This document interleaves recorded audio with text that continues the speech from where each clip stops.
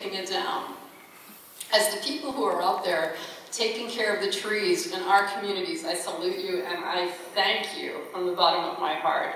And I hope that as you conclude your conference this week, you'll go out there renewed, reconnected, recommitted to your jobs, and with new relationships and friendships between all of you that will help you do the work that you need to do. I know a lot of you probably don't get paid what you're worth. I know a lot of you put in extra time to take care of the things that you know need to be taken care of, and I thank you for that. You know, every state has a different um, set of regulations and laws with regard to trees, and I think it's interesting that in, in Seattle, we're beginning to understand that perhaps our tree regulations are actually not protective enough and our, and our guardianship of the tree canopy needs work because we are changing in ways that our regulations do not now accommodate. I think it's also interesting to look at states such as Massachusetts, where I did the work on this book, where of course their history as communities, as towns, as developed spaces are far older than out here in the Pacific Northwest. They approach trees differently in Massachusetts. There is a state law in Massachusetts in which every town, and there are hundreds of them in Massachusetts, has a tree warden. I love that, don't you? It sounds like the Lorax, right? I've got my badge, I'm the tree warden. this person has a very important job. Sometimes it's in addition to whatever they do as the public works director or what have you, but sometimes it's someone whose whole job is to take care of the trees in the public realm. Maybe they're in the town square, maybe they're along the road, but their job is to educate the public about trees and tree health, and also look after the tree health of the trees in the public space. And if there's a need to take one of those trees down or a discussion about it, there's a public hearing. And you know what? The tree itself is posted, right? Not only that, the hearing is held at the tree, which is pretty innovative, pretty interesting, the idea of connecting people physically, directly, with the trees that we're talking about. You want to take it down? Let's talk about why. We don't have a shade tree ordinance in the state of Washington. It's something that perhaps all of you should be thinking about. Is that something we ought to have in the state of Washington, in the state of Oregon, in Idaho? As we continue to develop, do we need it in BC? You know, this um, this is something to think about. Look for the examples of the communities that have been developing more fiercely, faster, and longer than we have. Are there things that we can learn from our neighbors around the country?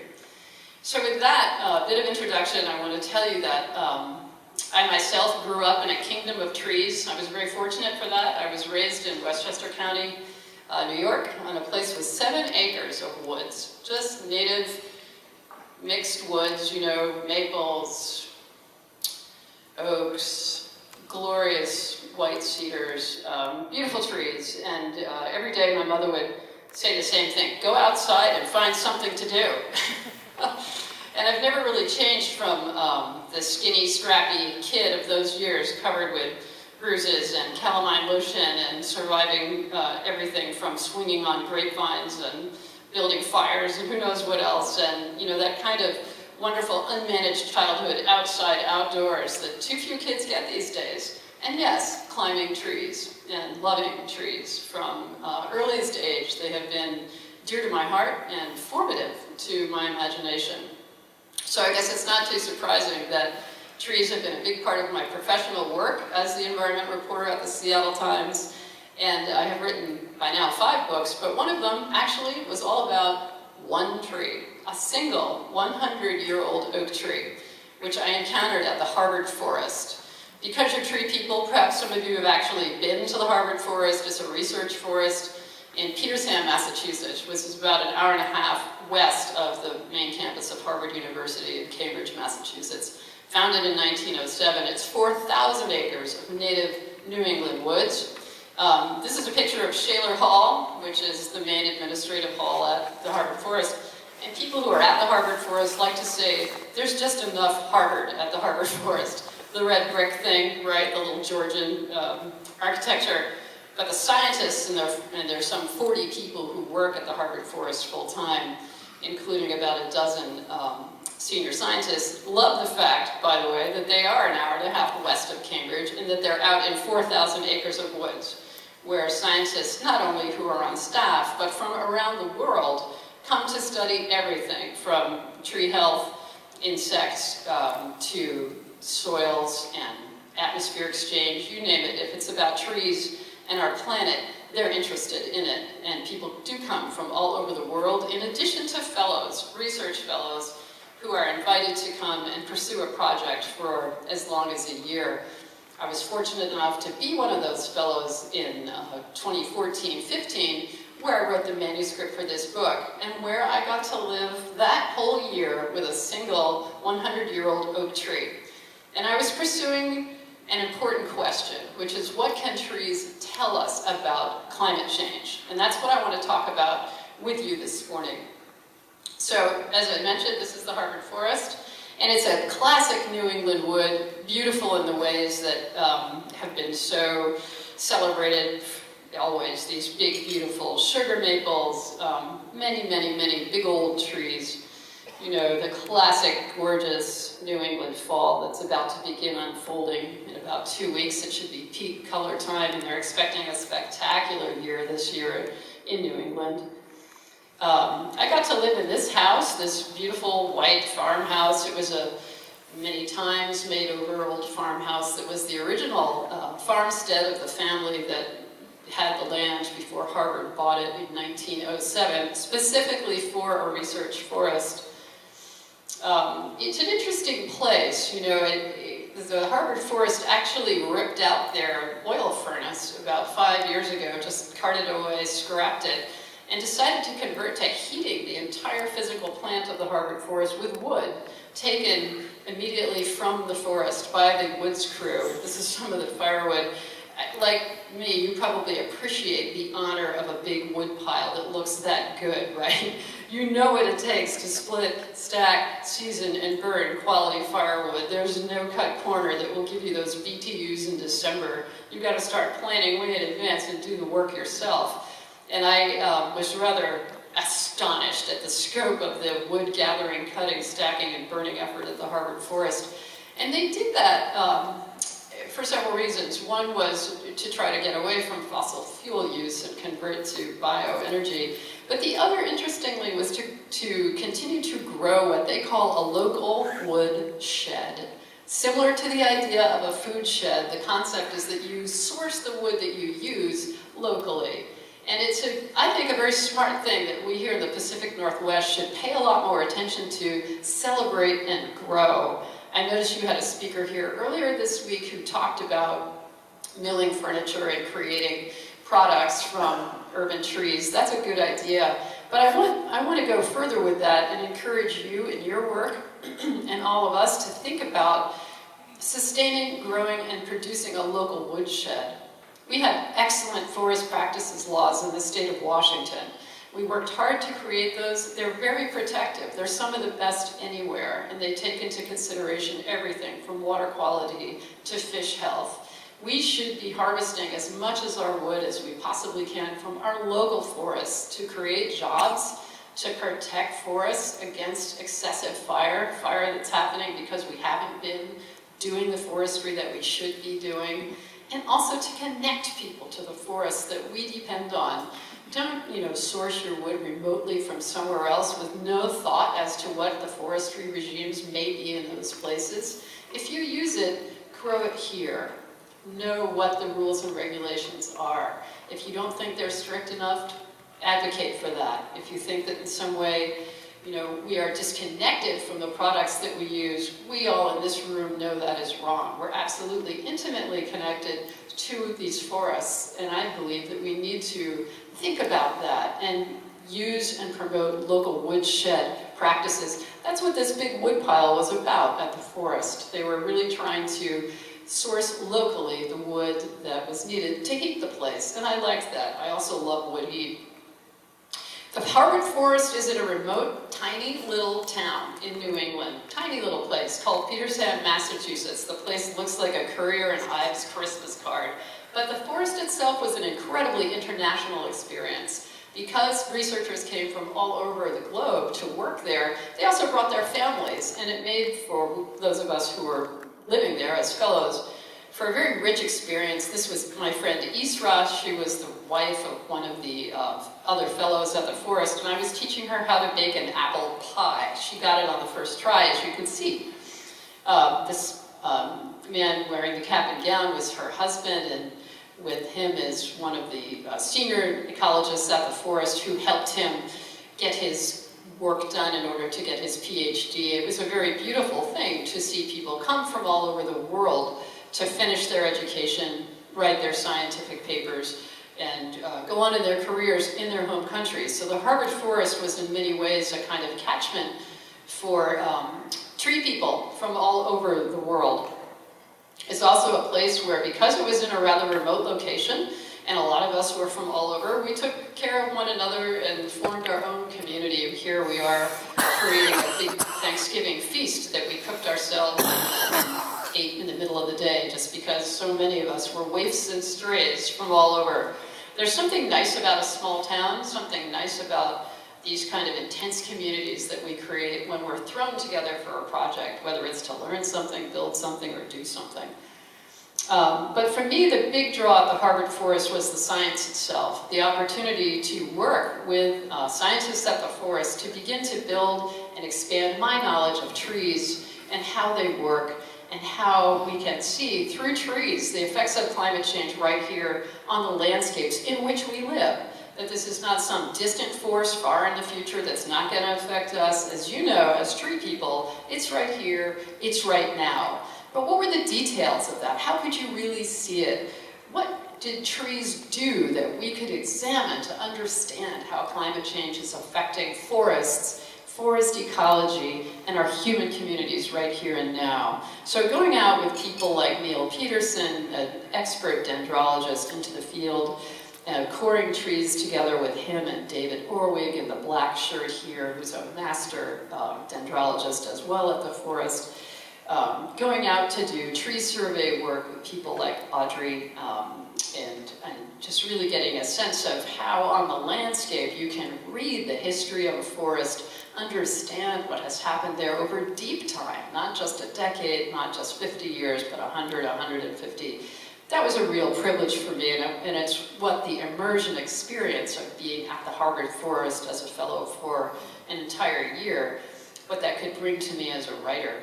I think for them it was a little bit odd living with a newspaper reporter. I, I, don't think they were really used to having a member of the media right in their midst, embedded with them each and every day. But I think uh, the novelty of it was also kind of fun.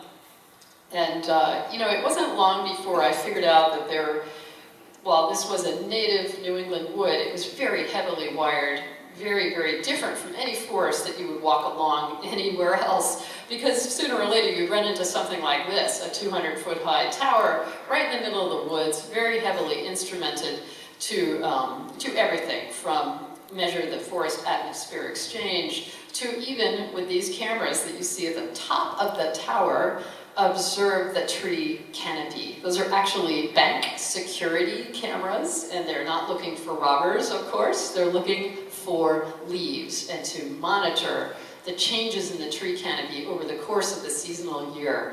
And that turned out to be very key to my story. This is Andrew Richardson coring that tree.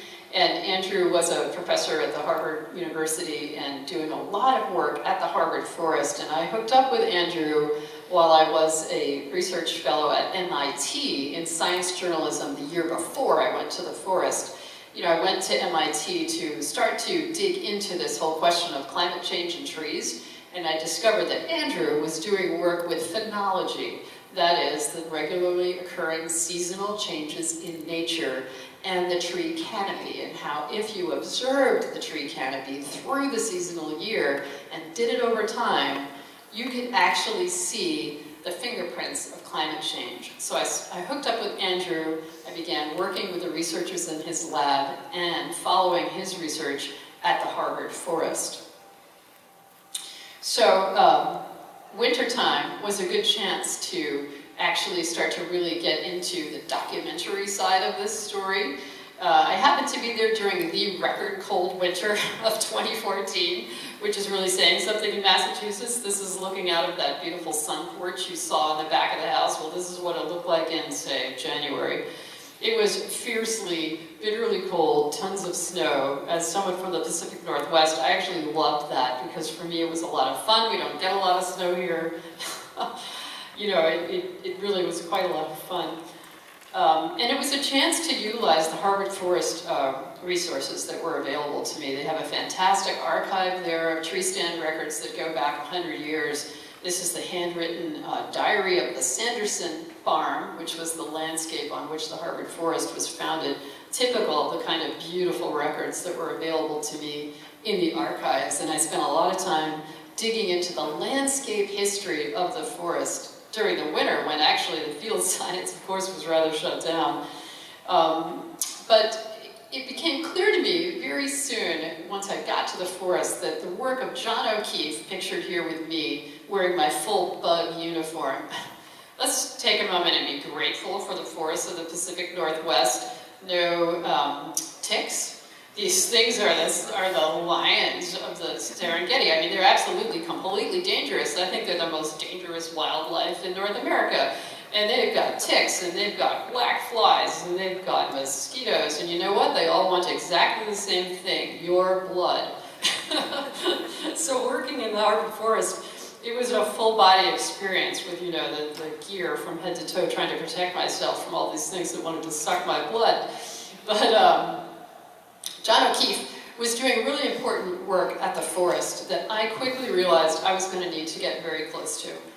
Uh, John took it upon himself to begin a phenology trail at the Harvard Forest. And in this trail, he isolated the same 50 trees, different species, different forest heights, that he followed in a regular weekly walk in spring and in fall for 25 years. That's quite a commitment to observation and to on-the-ground detail. Remember the tower that I showed you earlier in the slideshow?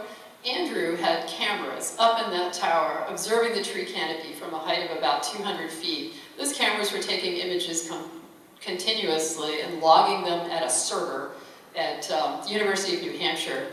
But Andrew teamed up with John, who was doing this regular week, week, week walk during the fall, during the spring. And between the two, you had the best of both worlds. You had an on-the-ground ground truth, if you will, of the seasonal changes in the forest combined with the big picture, that imagery of the tree canopy. And you put that together with all the other usual uh, measurements from instruments, atmosphere exchange, growth rate, um, moisture use, etc. And you can really begin to get a picture of what the forest, under the hood of that incredibly complex machinery of the forest, was doing year by year, season by season. This is John heading back to Shaler Hall after one of his weekly walks. Um, you see in his hand there just how complicated the instrumentation is that he's using. We're talking old school here. Clipboard, paper, pencil, binoculars. Um, he measured very little. Sometimes he would check the length of a bud as it was growing. Mostly what he did was look at things very closely. Um, I love this high tide of ferns that begins to come up in the uh, forest in the spring. And there he is with his binoculars. What he's looking for is the, is the leaf out and the bud burst in the forest in the spring to chronicle it week by week. And, you know, very quickly I thought to myself, this kind of observation that John is doing, this phenological observation, is perfect because it gives me a way to see the forest up close and personally with an expert and I also decided early on I needed a tree of my own. And so I wrote to him one night, sent him an email, said, John, I need a tree. because I needed a character, a focus from my story of how climate change is affecting forests. And so we went out to audition trees on his route. We walked the route and we checked over different trees and thought about them. There was a striped maple that I really loved because that's, that's such a beautiful species. It gets a very soft yellow leaf in the fall, unlike any other. It has this cool photosynthesizing bark that is striped with the green of its photosynthetic areas. But it wasn't big enough, it wasn't old enough, it didn't have any gravitas, so no, no striped maple. We walked on further, and there was a beautiful uh, black gum tree, actually the oldest tree in the Harvard forest. It's about 350 years old But that species for me was a little too exotic. People wouldn't know it. They didn't necessarily know about black gum, also called tupelo. And I thought, eh, I don't know. I want a tree that people know, a tree that people love, a tree that they would have some connection to. And finally, John walks up to this tree, a big old oak tree, about 100 years old. He puts his hand on it. He says, you know, this one, I think this might be the one for you.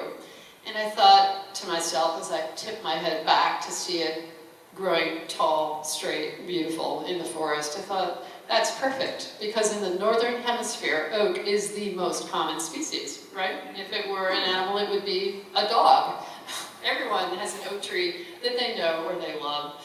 And there's a deep cultural, continual connection between people and oak trees, whether you're talking about the Royal Navy and the oaks that they use to create their hearts of oak ships, or the oak trees used in construction all over uh, the United States, or just their enduring beauty. This is a tree that people know and love.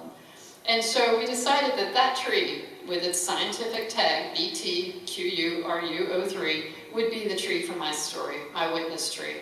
It just remained uh, to do one more thing, which was to confirm its age, which is what um, Dave Orwig is doing in this picture. He's coring into the tree. I knew I needed a tree about 100 years old. I wanted a tree that had sprouted during the time that our climate love affair our climate changing love affair with fossil fuels was just really beginning to kick in. So 1905, that's about when Model Ts start coming off the assembly line.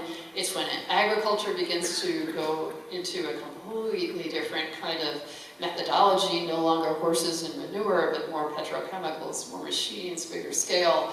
Our whole relationship with nature, in fact, begins changing around that time for the first time in human history, more people begin to live in cities than in rural areas. A disconnection is starting to take root. So a tree that's that old is the perfect age for my story.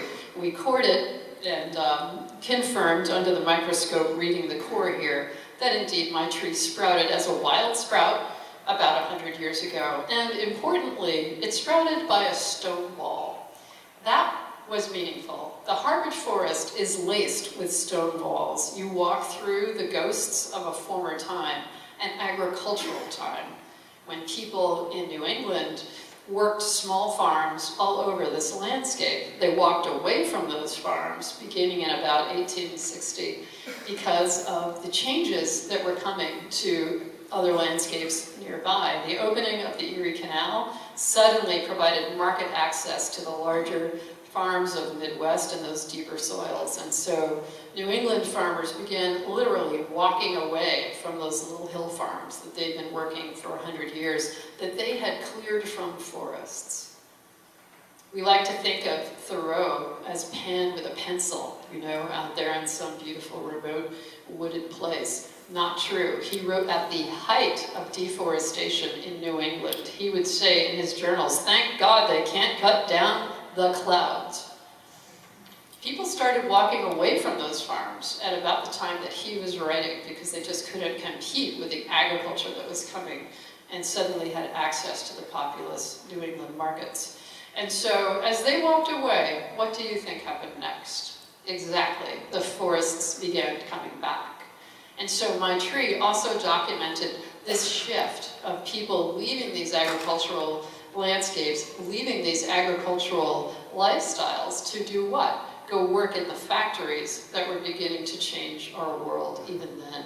If you look at the increase in carbon in our atmosphere, CO2, you can trace it very directly to the industrialization of our economy. The amount of CO2 in the atmosphere has always fluctuated over Earth's history. We live on a very adventuresome planet that at times has been entirely encased in ice, at other times has been far warmer, with even tropical climates all the way up to the poles. But the difference in what is happening now on Earth is the rate of change. I'm talking about an increase in atmospheric CO2 since the Industrial Revolution that is without precedent on our planet in terms of the rate of increase of CO2.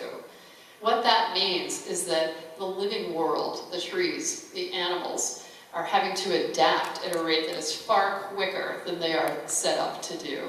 Trees are not fruit flies. They do not go through a generation in just a couple of days. They need time to adapt to these changes. And we are seeing some of these changes, and trees are geniuses of adaptation. But if you look at a tree like my oak, that's been there for 100 years, you can see how this massive increase in CO2 is affecting its physiology and also the ecological function of the forest. So here it is, my beautiful tree. I watched it through four seasons, spring, high summer, fall, and the spare beauty of winter. And I want to tell you a little bit about what walking that forest with John every single week in spring and in fall was like, and also what he was learning. I'm going to read to you a little bit from the book. John O'Keefe's records show how climate change is altering the seasonal timing of the forest. Leaf out is coming earlier, with an advance of spring by nearly five days on average since O'Keefe started making observations more than 25 years ago. The onset of the first frost in the fall had changed even more. O'Keefe used to observe hard frost as early as the first weeks of September. But by the time we began our collaboration in 2013, the first frosts often weren't coming until late October. On average, spring is coming earlier, fall is coming later, and winter is being squeezed on both ends. Everything in the woods reflected these changes, from the level of water in the vernal pools and springs, to when the black flies were biting, the ground frozen, or leaves budding out or finally coming off the trees. It wasn't a matter of conjecture, conjecture or political argument. The discussions of who does or doesn't believe in climate change in editorial pages, news reports, and congressional debates frames this all wrong. Climate change, the trees, streams, and puddles, and birds, bugs, and frogs attest, is not a matter of opinion or belief. It is an observable fact. Leaves don't lie. Thank you.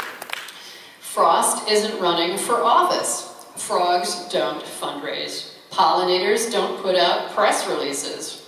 What O'Keefe had compiled while taking all those walks was the testimony of an unimpeachable witness, the natural world, including the big oak, my witness tree, O'Keefe's survey walks were a way to observe the planetary dynamic of climate change on an intimate scale and see its effects tree by tree.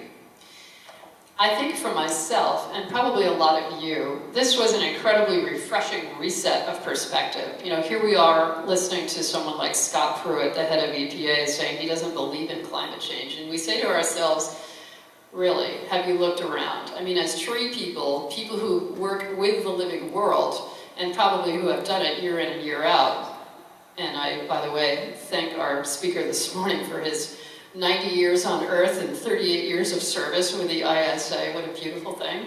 What a thing to be proud of indeed. Um, you know, you know this. You, you live with trees, you work with trees. Um, we know that this is not a debate, and we know that it's not something to wonder about. It's fact. And so, um, you know, the, the thing about phenology is it this grounding in seasons and the rhythm of the natural world is more than um, just taking a walk, isn't it? It's looking very closely at the seasonal emergence around you, day by day, uh, even hour by hour, you can see changes if you know what to look for. It is also a beautiful stance in life to take the time to really look closely at the beauty of the living world. And we looked at everything from the native wildflowers and when they began to come up in that fantastic ephemeral time when the temperatures have warmed, the leaves aren't yet out, and you've got that six-week window when there'll never be as much sun on the forest floor as there is right, right then. And you know what happens, don't you? Everything springs to life. And we also, of course, um, observed the first coming of fall color, when you saw other seasonal transitions at autumn time, such as the fantastic mushrooms, um, the frogs when they first began to sing. Uh, bird tracks in the wintertime told us about the migrations of animals. Um, I think that one of the great pleasures of doing this book with John and the other scientific collaborators at the Harvard Forest was this the pleasure of taking time to really notice the beauty of the natural world, how the skin on the floor of the muddy surface of that puddle, and to see the newts that would come out anytime it became damp or cool, and you had to really watch your step. These little tiny juvenile salamanders were everywhere, and I loved their sort of noble Jurassic bearing. To actually observe the formation of raindrops as they would cascade down the surface of the bark of my tree, see how the lens of water would magnify the surface of the bark and the lichen, to really um, notice the animals around me, to actually see those same frogs that I had heard sing in the spring grow up in the summer into adults to really enjoy that first push of the ferns through the soil, through the leaf litter, the deep duff of the forest floor in the spring, and see their beautiful circinate vernation as they would gradually stand up and unfurl their fronds. To observe in detail through a journal that I kept with John of the forest and its seasonal changes, collect the native plants, press them. And finally, to climb. Right. yeah. I'm a member of the uh, ISA in New England, and the reason for that is because I took a series of uh, tree climbing workshops. It, I figured out that if I was actually going to get to know my tree, I was going to need to climb it. It wouldn't be enough to just walk around underneath it. I needed to actually get up in it. And what you're seeing here is um, my first lesson with Melissa LeVangie. She's the tree warden for Petersham and a championship climber. And there she is testing my harness on my first lesson, and I look a little skeptical, right? and I won't lie to you, I was more than a little bit skeptical, but I thought, what the hell, I'm, you know, 58 years old, I got health insurance, let's do it. so uh, we did. And she got me up in my tree on the very first climb, and um, I can't tell you how important and how transformational it was to feel the tree under my feet, to not just be looking up at it from the ground, to be in its world. And uh, ever the reporter, of course, I took up my notebooks and did quite a lot of work uh, just being up in the tree to, to feel its weight under me, to understand that a tree moves not just up and down, but side to side in the wind, to suddenly see how the tree canopy actually extends one branch just to the edge of the one next to it. That beautiful expression, canopy shyness. I love that, of how the branches will come so close but not quite touch between the trees. To really begin to understand the incredible connection of the tree canopy and its roots to the communities of, of fungi underneath the ground in the soil the connection between the species of trees underground, the connection with a vast suite of lives of animals above ground. It, it was a thrilling thing to get to know a tree intimately and deeply, and to understand that one of the reasons trees move us so is because they are these consummate diplomats negotiating complex relationships between insects and fungi and animals. After all, oak trees would not exist without the dispersal mechanism of blue jays and squirrels. And they, they command a vast array of resources. They are placemakers. They are definers and makers of space. Unlike us, they can live in the same spot for hundreds of years, not depleting them, but making them richer, sustaining them. There's a lot we can learn from a tree. And I also um, loved just getting swept away by the sheer beauty of an individual tree, getting to know its life through the seasons, through the different hours of the day. I went walking in that forest in everything, from sandals to bare feet, to muck boots, to snow boots, to snowshoes. I was out there in spring, summer, winter, fall, day and night. And I want to read to you just a little bit about uh, what that made me think about sometimes when I would go out to visit my tree. More than a century stood here in the big oak. Through two world wars, farms gone to forest, a carbon and digital age began and still surging, and the oak just grew steadily on, not unchanged, but persisting to each new day I thought of it, shut down now for the night, a solar-powered miracle at rest during the reign of the moon. Could I sense the big oak and the lives all around, breathing just like me? What if the respiration of trees was visible, drifting into the night sky in a soft golden cloud? Perhaps then the interconnectedness of our lives, easy to forget, would be more visible our shared living breath and connection to this earth more apparent. I had never realized that trees have daily schedules as surely as we do, with activities particular to the hour, and resting cycles that correspond to day and night. Graphed on paper, a day in the life of a tree looks like a bell-shaped curve, from a quiescent dawn to its height of activity at noon winding down to its repose at sunset. I lay under the tree to look up into its crown, the leaves shut tight for the night, like a house waiting for morning. And so getting to know one tree well was a way to think about its daily cycles, to understand its incredible activities, all the things that it was up to, but it was also a window into a wider world of how our planet is changing not just the forests immediately around us, but indeed our planet. And to understand that the very seasons themselves are changing because of our alteration of the atmosphere. This shouldn't come as a surprise. The Earth is not just a collection of places, it's a, it's a dynamic interaction of systems, and we have changed those systems and set in place feedback loops that we can't control that are now making changes of their own.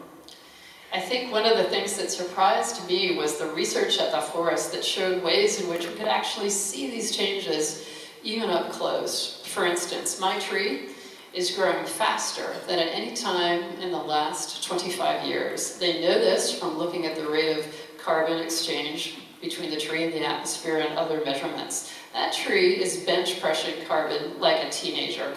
That was a surprise to the scientists of the Harvard Forest. They thought trees, once they became about 100 years old, started to slow down. That's not true. The big ones are doing some of the hardest work. And we could really see how the rate of growth in that big oak had accelerated, changed over the course of its lifetime. Not only that, but they could see that the stomata in the leaves were beginning to behave differently because there is so much CO2 in the atmosphere now, why would a tree lose more moisture than it has to? Why would it open more stomata more widely than it has to? Trees are smarter than that. And sure enough, what they found was that even as the tree was increasing in its growth rate, its water use was decreasing. Why? The reason for that is because the stomata are opening less. Trees are smart. They don't want to risk water loss if they don't have to. And so the tree is actually growing more efficiently. It's growing faster, using less water to do so. Of course, that has implications for forest ecology. It changes everything from stream flow to humidity levels. So that's an important change in the physiology of the tree that affects the physiology of the forest. And it gets even more interesting. The actual timing of the seasons has changed. And in a very big way, because scientists had assumed that if spring continued to come earlier, that would mean that actually you'd have these incredibly longer and longer growing seasons, and that because you had longer growing seasons, the trees would just continue to continue to continue to accrete carbon, and you could count on them to continue to lower atmospheric levels of CO2 because growing seasons would be so much longer. Actually, that's not right. Some of these early climate models have turned out to vastly overestimate the amount of carbon that trees would put on, even though they're growing faster, even growing more efficiently like my tree is. But you know what else has happened? Growing seasons are now so long, they are supersized. They last longer than the trees. The leaves on the trees are beat up, worn out, done for the year. Even though the weather remains fine, even as late as practically Thanksgiving now in these New England woods, the trees are senescing. They've just like called it. They're done. They've done their work for the year. They could theoretically keep going, but they don't. They're senescing weeks earlier than the climate would seem to be allowing. Why is that? It's because the seasons now last longer than the leaves. The seasons are at a different timing created by us than the living world. There's actually a mismatch that is set in. That was surprising to me and a little bit alarming, to actually feel the hands of human influence on the length of the seasons and a mismatch that's beginning to extend into the lives of these trees and the forests in which they live. Talk to gardeners. Think yourselves about what you can grow now that you couldn't grow before in this climate. Think about how much later fall is actually coming and think about what you've seen in the forests around you and how they're reacting. We're seeing big changes in the woods. And I think that um, this finding that um, the seasons are now lasting longer than the leaves was one of the most surprising to me and also to some of the scientists I was working with. I want to talk about, um, however, the joy that also came to me in doing this book. Here I am writing one of the last chapters while sitting up in a hammock in my tree. This was one of the best days of my life, I gotta say. We packed a picnic. This was my final climb of the year. Um, the tree was finally in full leaf. It was the climb that I did that I would say actually transformed me into a climber. Not a terrified student anymore, but now someone who actually felt sure, strong, um, and mostly overjoyed as I scrambled up into the top. And uh, my instructors brought the hammock. I packed a big pick and a picnic of fried chicken, dark chocolate. It was a really fun day. We just stayed up there in the tree and I worked on the book. But mostly what I did was look around and feel the grace, the beauty, the miracle of this tree. It's about 85 feet tall, so it's not a big one like we have out here. Its canopy spread is about 65 feet, but it was a beautiful forest-grown oak at the height of its glory, and to feel the movement of it up there, to see how the light is so different from within a tree rather than just down there on the ground, you know, I have to say that that for me was a transformational experience. It was one not only of joy, but of a kind of deep inner peace, a feeling that, you know, people and trees, we go way back. Trees are some of our oldest traveling companions. They are both a source of inspiration and joy to us. And, you know, I just have to think that if we're smart enough to create the problem that we have with climate change through all of our industry, all of our inventions, we're smart enough to figure out a way out of this. I truly believe that. I'm an optimist at heart. Um, I'm grateful for that. But I also just look at the ingenuity of nature, and I know that we are part of nature. And I believe that if we work at this and we begin to take this as seriously as we should, we can figure a way out of this. After all, trees can provide an example to us. Look at how they work. Do they stand alone, isolated, in a sheerly competitive stance with one another? No, they work with the other species, with the others in the forest in which they stand. And for that, they are much stronger, more adaptive, more resilient, more successful. Forests are our instructors, and every single tree matters, and we're going to need every tree we can possibly keep in the future. I want to read to you just a little bit about uh, what it was like to be up in the tree on that final climb that day, and some of what it made me think about how captivating to see a tree from within. The light was ever-changing, the sun a luminous pageant of green and gold as the big oak's branches parted in the wind, letting the sun spill in, then swung back, offering light shade. Not the deep shade of the forest floor, but lacy, ever-changing with each toss of the wind. Everywhere there was movement. A black and yellow swallowtail butterfly cruised through the treetops, just past my shoulder. The chickadees called sweetly, alert to our presence. The leaves stirred in every direction as the wind blew, and the tree moved with it, up, down, and sideways, all at once. The hammock rode the tree in the wind, its rocking embrace, amniotic and primal. I felt both at home and distinctly a visitor. I thought, what familiar and alien things trees are, all at once. They remain wild, essentially other, a kingdom apart. We need them, but they do not need us. Yet, watching the oak from up here, for the first time, I felt I understood clues for our own persistence. I noticed the oak's genius in abiding with others, species above and below ground, in a diverse, interconnected nation of lives. From the deer and the bear and the squirrel and the blue jay to the vast, spreading, nourishing mycorrhizal networks amid its roots, it seemed, I thought, rocking in the oak's embrace, that our task now is to live on this earth at least as successfully as this tree. It felt like a lesson, a personal reckoning, an ethical awakening from a human-centered or anthropocentric view to simply grasp the reality of where we truly stand on this earth. We're not separate from nature. We are of it and in it, and we need an ethical framework to match. We need a tree culture, a nourishing mutualism that embeds us in creation, working with one another in collaboration with nature to sustain us in our common home. From such a perspective, solutions can emerge. Without it, they likely will not. I do not mean that solutions lie only in individual action or conscience, but for governments and nations to do what they must. People everywhere must first conceive and insist on its necessity. So with that, thank you for listening. Thank you for your work. Know that in the time of Thoreau, New England was virtually deforested. Know that today, not that much later, New England is home to the largest reforestation miracle anywhere in North America.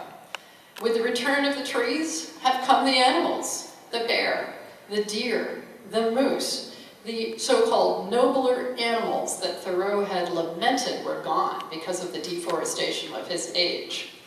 Know that in trees, in forests, there's future and there's hope. Thank you.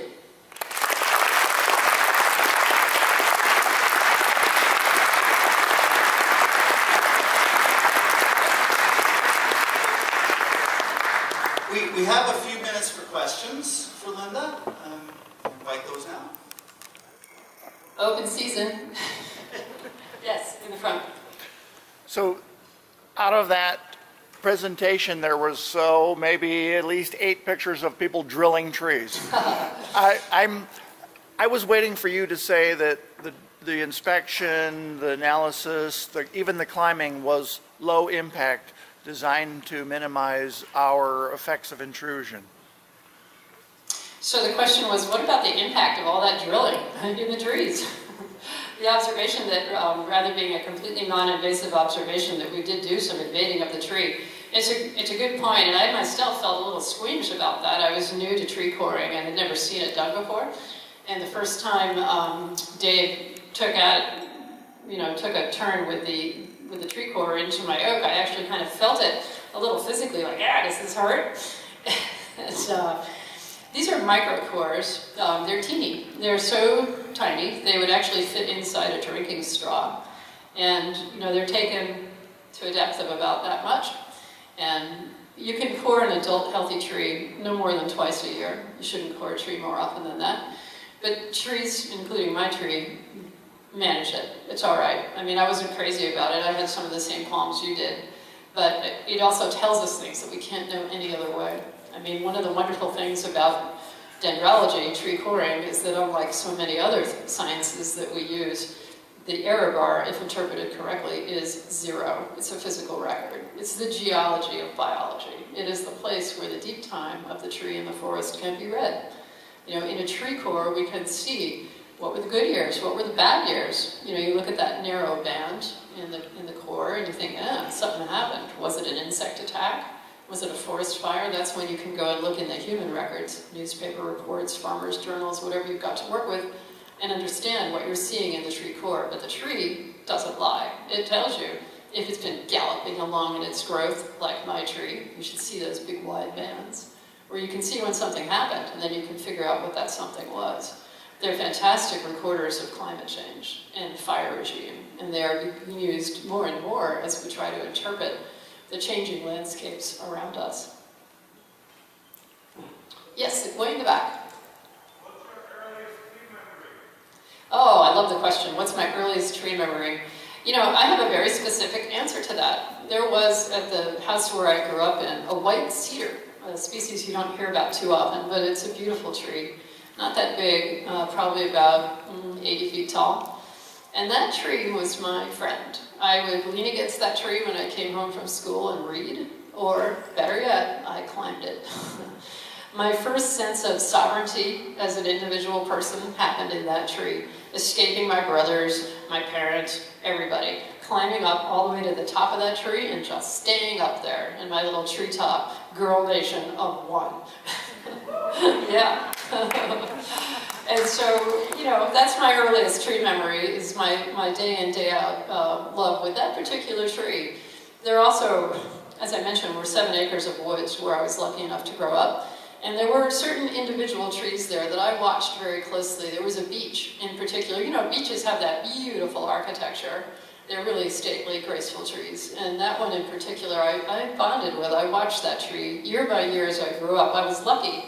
We moved to that house when I was five, and I didn't leave it till I went away to college. So I really did see that forest, you know, through every season, every day after school. That's where I went. So there were certain trees I followed as individuals, including that beech.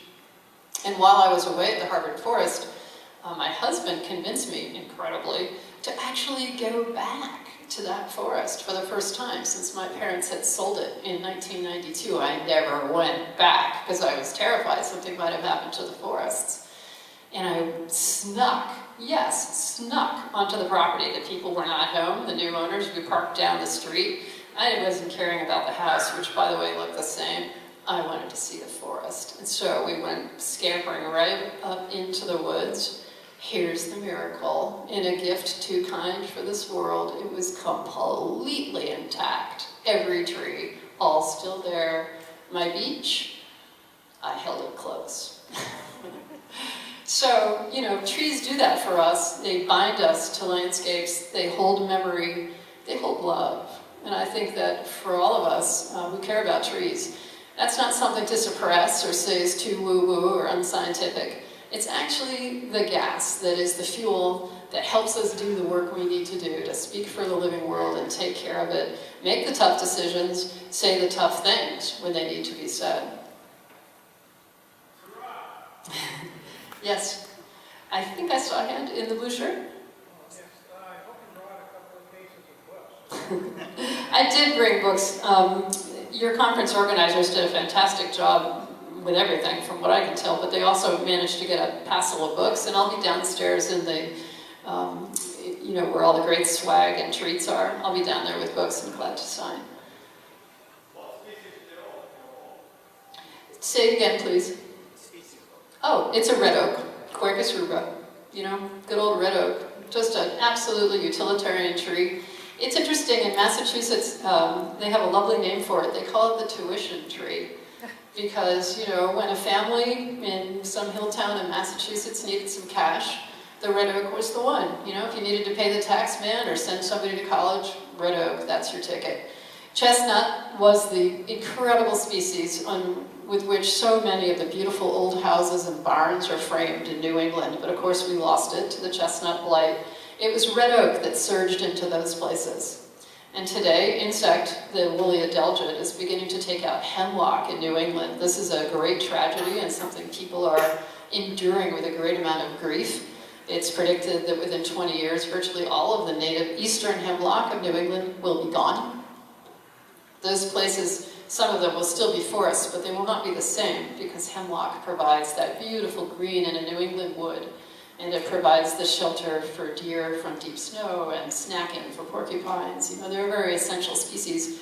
And, you know, we don't necessarily hem celebrate hemlock so much out here in the Pacific Northwest. It was even considered a trash tree, best for pulp by many for many years. But back east, they have a poetic standing. Um, so red oak, though, gives us hope because its surge into the space that was held by chestnut is exactly what's now happening with um, black birch, Betula nigra, in the New England woods. They're moving in where the hemlock stood. So these will be forests. They'll be different forests. You know, this lecture is about climate change and change in the woods. And we all know that nature never stands still and the forest is never unchanging. that's the way it is. Um, so change, I'm not saying change is bad, but change that's caused by human action, change that's coming faster than native species and the animals that they support can adapt to, that's something to pay attention to because you know what? There's no like little secret handshake private deal for humans. We're part of this thing. And if it starts to unravel, we're going with it. So if we want to stay on this beautiful planet to which we are so perfectly suited, it is about recognizing that we are part of nature, we are embedded in nature, and as it goes, so do we. Life on Earth is the most powerful force. It will endure way past us if necessary. This place will reset to rock and ice. It's happened before. And you know, what do we want? Do we want some future culture hundred, hundreds of millions of years from now to look into some layer, some strata, and say, huh, what were they? they really liked plastic. you know, we've been around a very short time on this beautiful planet, and I do believe that we have the capacity and the heart to figure out how to stay here a lot longer in the company of beautiful trees. Thank you.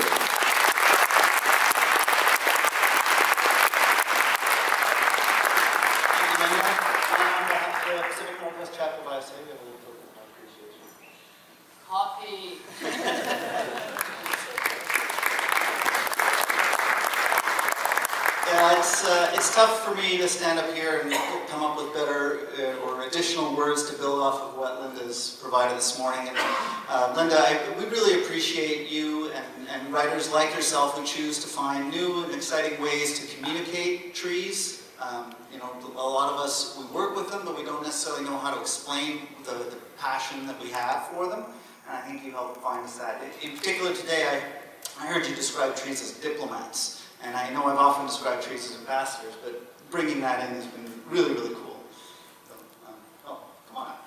I just wanted to say I am a working full-time reporter at the Seattle Times, and I want your story ideas. I'm super easy to find, lmapes at seattletimes.com. Call me.